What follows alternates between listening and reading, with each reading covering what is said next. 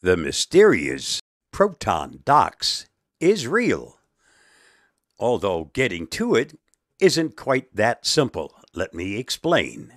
To use the docs, you first need to get to the new Proton drive, and you can get up to 5 gigabytes of free storage on that drive. If you already have a Proton mail account, just sign in. If you don't have a Proton email account, don't really want one, well, you got to start either with your current email address or you have to create a Proton account.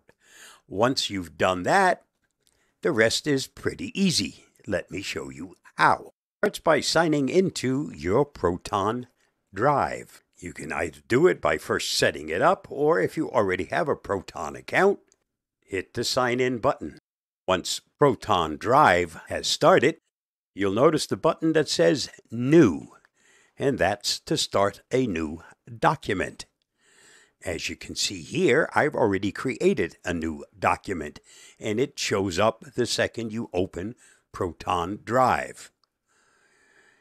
Now, if you're on your Proton Mail account, you'll also notice this little icon up at the top.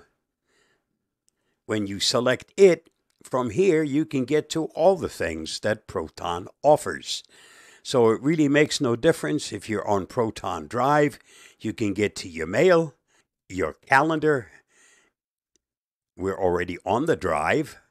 You can access the VPN and you can access your passwords if you've got any of these or all of these set up. This is available, that little icon is available in all the Proton apps. It's available on all of the websites. And from here, you can get to any of the other services.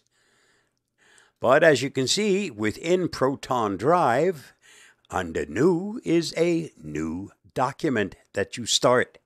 If you already have a document created, as I did, just select that document. If you want to access it, change it, share it, whatever you want to do with it. Now, how you use the document itself, that's a different story.